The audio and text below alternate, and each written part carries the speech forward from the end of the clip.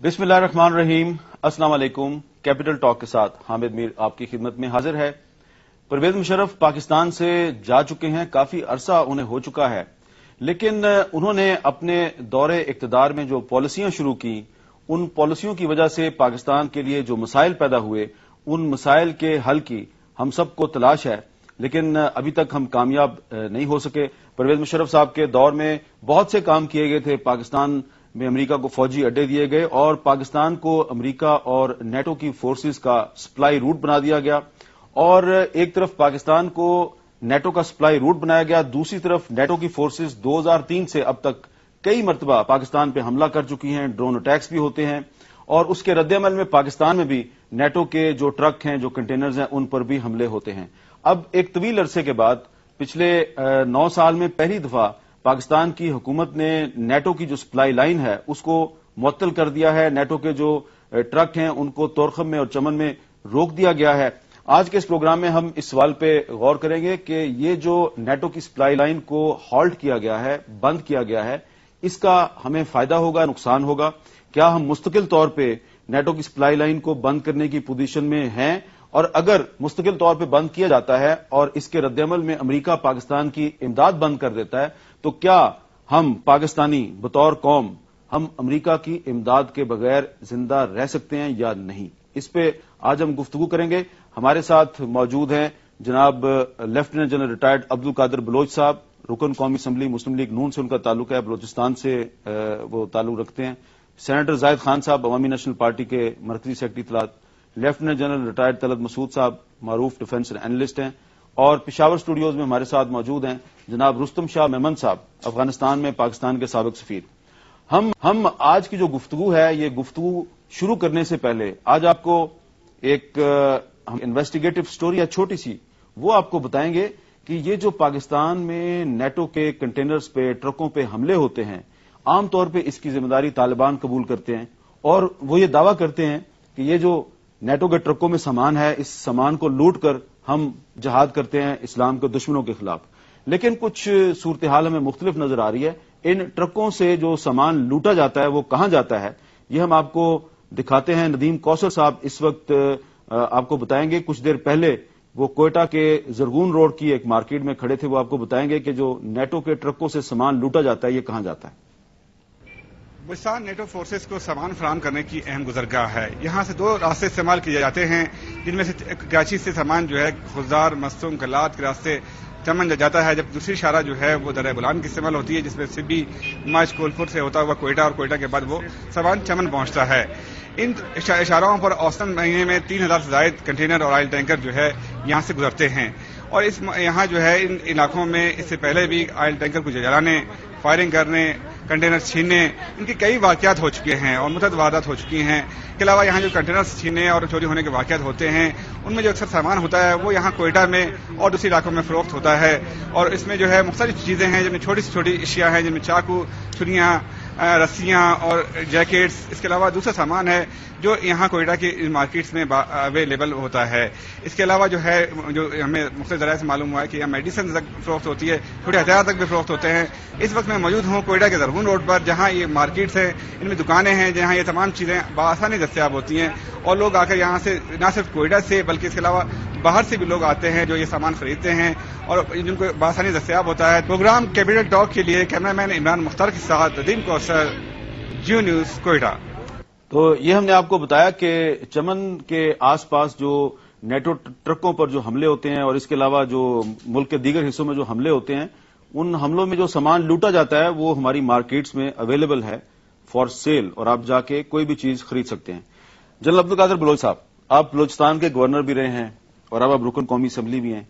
ये बताइए कि ये जो हमले होते हैं नेटो के ट्रकों पर, ये इसमें तालिबान मुलवस हैं या कोई हमारे अंदर से पाकिस्तान में कुछ बिजनेसमैन भी ये कारोबार कर रहे हैं? जी, जहाँ तक बलूचिस्तान का ताल्लुक है, अभी तक इस किस्म के कोई शवायद नहीं मिले हैं कि तालिबान ने इन ट्रक्स के ऊपर हमला किया या इनको जलाया या इनका सामान लूटा। आ, मेरे ख्याल में जो इन्फॉर्मेशन मेरे पास अवेलेबल है मोस्टली ये क्रिमिनल्स हैं जो कि इन ट्रकों को लूटते हैं इनका सामान निकालते हैं और बेचते हैं। तालिबान का एज सच बलूचिस्तान में अब तक कोई क्लियर कट किस्म की एक्टिविटी हम लोगों ने एज सच ऑब्ज़र्व नहीं किया है। और न ही मेरे ख्याल में अब तक उन्होंने वहाँ पर जिस किस्म की टार्चिंग हुई है इन ट्रक्स की या वहाँ पर लूटिंग हुई है उसको ओन अप भी उन्होंने एज सच अब तक नहीं किया है। लास्ट एक दो दिन का मुझे पता नहीं है। उससे पहले जल, जल साहब के नेटो के जो ट्रॉलर्स हैं ट्रक्स हैं उसमें से सामान लूट के अगर कोयटा के जरगून रोड पे फरोख्त हो रहा है तो ये क्या आप नहीं समझते गलत काम है और इसको रोकना चाहिए? देखिए जी, मैं कभी भी इस बात को सपोर्ट नहीं करता हूँ। अगर हमारी गवर्नमेंट ने कोई कमिटमेंट दी है कि एक फैसिलिटेशन उन्होंने करनी है, इस वार को जो अफ़गानिस्तान में जा रही है, जिसको वार ऑन टेरर कहते हैं, हम लोग अपने आप को उसमें पार्टनर भी कहते हैं। मेरी जाती राय एक तरफ़, अब तक हमारी जो ऑफिशियल स्टांस है वो ये है। तो उस सूरत में अगर हमने कोई कमिटमेंट दी है तो ये क्रिमिनल्स को ये इजाज़त देना कि वो ये लूटिंग करें और इस किस्म का सामान खुलेआम फरोख्त हो और गवर्नमेंट उससे आँखें बंद कर ले। आ, मैं इतना कहूँगा कि गवर्नमेंट उसमें अकम्पलिस तो नहीं है। कभी ये गलती गलत बात होगी अगर हम कह दें। उनकी न अहली और उनकी नाकामी आप समझ लें इसको किस किस्म और ये बलूचिस्तान में न सिर्फ़ ये है बल्कि बेशुमार और ऐसी चीज़ें हो रही हैं जहाँ पर गवर्नमेंट की न अहली क्लियर कट सामने आ जाती है। मैं इतना कहूँगा इसके बारे में। जायद खान साहब ये जो नेटो के ट्रक हैं इन पर हमले के बाद सामान लूट के मार्केटों में भी फरोख्त होता है और नदीम कौसर साहब बता रहे थे कि छोटे हथियार भी जो हैं, वो भी फरोख्त किए जाते हैं। अब ये जो छोटे हथियार हैं, ये उन मिलिटेंट्स के पास भी जाते होंगे जो पाकिस्तान के अंदर खैबर पख्तूनख्वा में और बलूचिस्तान में हमारी सिक्योरिटी फोर्सेज पर हमले करते हैं। तो इसका मतलब यह है कि अमरीका और नेटो फोर्सेज के लिए जो सामान आ रहा है पाकिस्तान में, उसको लूट के बहुत से लोग बिज़नेस भी कर रहे हैं और वो जो पाकिस्तान के अंदर बागी नसर हैं, उनको भी असला फ्राहम कर रहे हैं, उनको बेचते हैं। तो इसके मसले का क्या हल है? कि सप्लाई लाइन को मुस्तकिल तौर पर बंद कर दिया जाए? देखिए, मेरे साहब इससे कति नज़र के लूट वाले लूट मारने मार वाले जो है, वो चीज़ों को लेके जाते हैं या बाज़ार में परोस करते हैं या क्रिमिनल लोग है, कोई भी आप उसको वो दे दे। देखिए, जब भी कोई वाक्य होता है, अब इस्लामाबाद में हुआ तो तालिबान तालिबान हम दहशतगर्द करते हैं, हम, मैं कभी उसको तालिब नहीं समझता हूँ। तो वो दहशतगर्द कहते कि जी ये हमने किया। अच्छा दुनिया में एग्रीमेंट गलत हुआ है या सही हुआ है? इस पर बात नहीं करते कि आपने सप्लाई लाइन उसको दिया है गलत दिया है या सही दिया है। ये मैं आपके साथ बिल्कुल मुतफिक हूँ कि दो बातें हमारे साथ होनी चाहिए। या तो ये कि बिल्कुल ब्लॉक कर दे। नहीं जाने दे कराची से निकलने दे बल्कि कराची में उतारने न दे। हम्म। और अगर आपके मुल्क के अंदर एक चीज़ आता है और फिर आप कोई भी या तालिब हो या कोई भी हो और वो जला देते हैं फिर उसके लूट मार भी होते हैं फिर बाज़ार में भी जाते दुनिया में हमारे क्या रसवाई नहीं होगी? क्या यो लोग ये कहिए कि ये स्टेट है कि क्या है? क्या ये इतना आप नहीं समझते कि इसमें बहुत से हुकूमत के अंदर से बहुत से लोग मिले हुए हैं बिल्कुल। जो इस बिज़नेस में शामिल हैं? बिल्कुल मैं इसलिए इस ये बिज़नेस हो रहा है। ये देखिए ये बिज़नेस अगर न होता तो आप मुझे ये बता दें कि जब एक स्टेट एक माहिदा करता है, फिर उस स्टेट की जिम्मेवारी होती है कि वो उसको प्रोटेक्शन दे दे।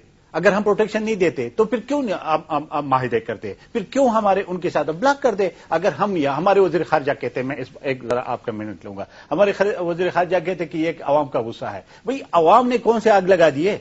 आवाम ने कौन सा लूट मार किया है? ये तो जो लोग कहते हैं वो फिर एक्सेप्ट पे करते हैं तो आपका वज़ीर खारजा गलत कहता है। ये इसलिए गलत कहता है मैं, मैं बिल्कुल गलत कहता है। तो इसलिए आपकी हुकूमत का देखिए बेशक हो देखिए एक, एक अगर ठीक काम करेगा तो हम उसके अप्रिशिएट करेंगे गलत बात करेगा गलत काम करेगा हम उसको कभी सपोर्ट नहीं करेंगे। एक बात अगर आपके अवाम का गुस्सा है तो फिर आप स्टेट है और आपको आवाम ने वोट दिया है। फिर उसकी गुस्से को आप बर्दाश्त करें और उसके लिए आप पाबंदी लगा दी जो आपने लगा दी। बिल्कुल लेकिन कराची से निकलना नहीं चाहिए कि जब आपकी दुनिया में और रसवाई हो कि स्टेट है ही नहीं जो भी चाहे दंदनाते फिरते हैं दहशतगर्द जहाँ चाहे उसको आग भी जला सकते हैं जहाँ चाहे उसको लूट के बाज़ार में जल साहब क्या हम इस पोजीशन में हैं?